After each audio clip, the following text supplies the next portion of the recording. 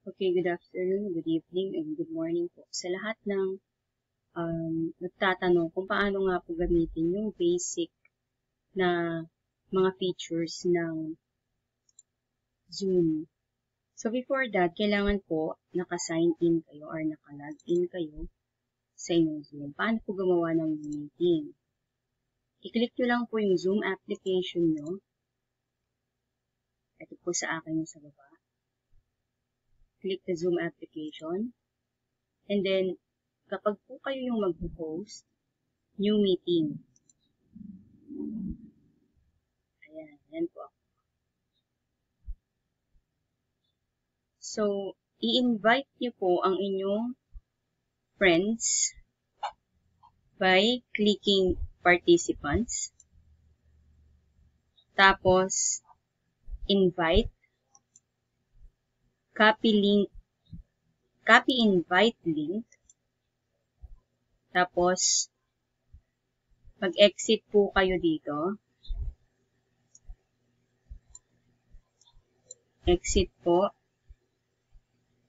Text nyo rin po ito. Minimize.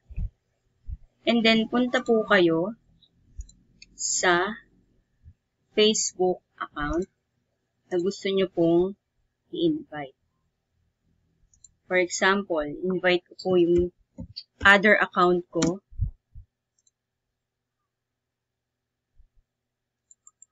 I-paste po dito yung kinaping link.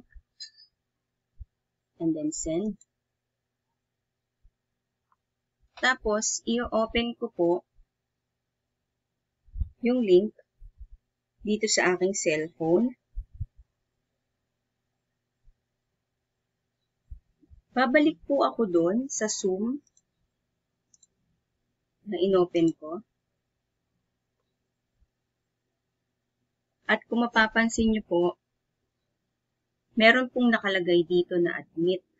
Ibig sabihin, meron na pong nakatanggap ng link nyo. Tapos, para mapapasok sila doon sa inyong room na ginawa, i-admit po iyan. I-click po yung admit. Then, makikita nyo na po yung inadmit or yung sinenda nyo ng link, which is ako. Yan po. Yan po ako. Alright? Ayusin ko lang po. Sorry sa background. Ayan. Okay. Yung may, ito pong kita yung damit ko, kung mapapansin nyo, meron po siyang is uh, connecting to audio. Kapag bago po sa Zoom, sasabihin nyo lang po doon sa kausap ninyo na i-click, meron po doon makikita na call over internet. Na parang naka, yung icon po niya is headphone i-click po iyon. Click ko po sa cellphone ko. Tapos, maririnig. Ayun. So, pag po nag-feedback, i-unmute or mute nyo po yung inyong microphone. Ibig sabihin kasi kaya nag-feedback, malapit po yung nagsasalita. Malapit po yung device na nagsasalita. So, okay po. So, ito na po. Halimbawa, ikaw po yung host.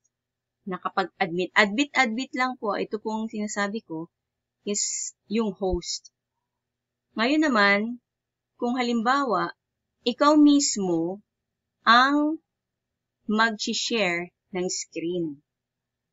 Punta po kayo dito sa share screen mapapansin nyo, meron ditong screen, whiteboard, iPhone or iPad, or kaya yung internet. Ayan po. Meron din ditong advance. Pwede naman dito na i-share screen nyo yung portion lang kung ayaw nyo makita yung buong screen. Yung portion lang ng inyong screen. Kung ayaw nyo makita yung screen, pwedeng music lang din. or kung gustong makita naman ang yung face sa screen, i-click po yung content. Pag files naman po ang i-share, kaso hindi ko po masyado ginagamit ito, usually, ang gamit na gamit ko po is tong basic. Punta mo muna tayo dito sa screen. So, yung screen, naka-blue, big sabihin, yan po yung mag appear dun sa screen din ng inyong ka-Zoom meeting. Pag whiteboard, pwede po kayong magsulat. Okay, pagka naman po itong internet or yung website, pwede po ninyong i-share yung website na gusto nyong puntahan na um, ba, manonood kayo ng YouTube ng mga bata or ng mga kasama niyo po sa trabaho, pwede po ito. Okay? Pero ang unahin po natin, halimbawa may PowerPoint presentation ka na ipe-present, i-click mo lang tong screen. And then, share. Mapapansin nyo, nakita itong nasa screen ko. Alright?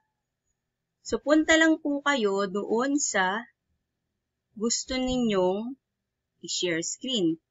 For example, ito, ang aking module. Si-share ko kunwari. Punta po dun sa desire nyong file na i-share. And then dyan po. Makikita po iyan sa screen din ng inyong ka-Zoom meeting. Alright? Pag i-stop na po iyan, i-click nyo po yung ito, yung stop here. At may stop na po yung pag-share ng screen. Okay po? Next naman, is paano po kapag ka may sound or music or video yung isi-share ng host or ng sharer. Ganun pa rin po, share screen. Yung ito po ay hindi po itong arrow. Ito pong malaking arrow na may green. Punta po kayo sa screen uli.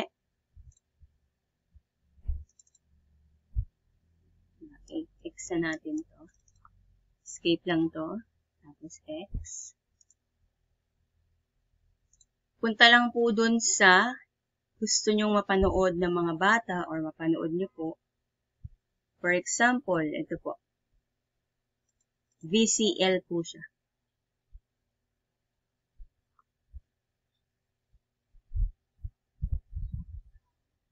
Usually po, hindi naririnig yung sound. Pag hindi po narinig yung sound, punta po kayo dito sa i-post nyo po muna. Tapos, punta kayo dito sa may baba.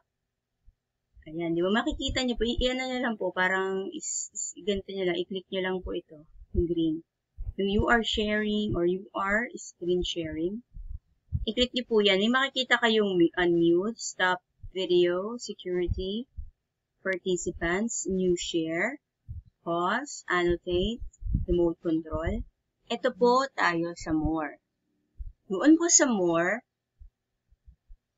para po ma-share yung tunog ng inyong screen, i-click nyo po yung share computer sound para marinig po yung sound ng laptop nyo marinig ng mga ka-Zoom meeting nyo. Kasi po pag hindi po yan naka-check, makikita lang po nila yung nasa screen.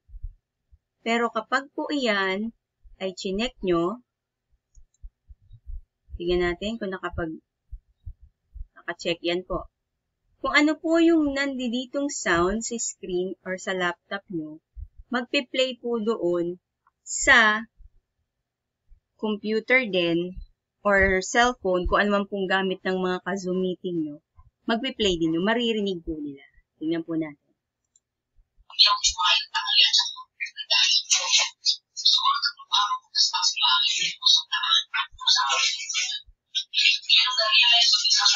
Yung ingay po na yon, tinapat ko po yung microphone sa aking cellphone. Ayan po. Pinost ko po, hindi na po namin. So, ganun lamang po yung pag-share or pag share nga ng video na may tunog. Kasi, minsan, hindi natin, ano, na, na check to eh. Pwede rin pong i-record yan. Right? Pag po ayaw nyo naman po i-share yung tunog, tanggalin nyo lang po yung check. Okay? So, sana po may natutunan kayo. Tapos, i-X nyo po ito. I-stop sharing po muna.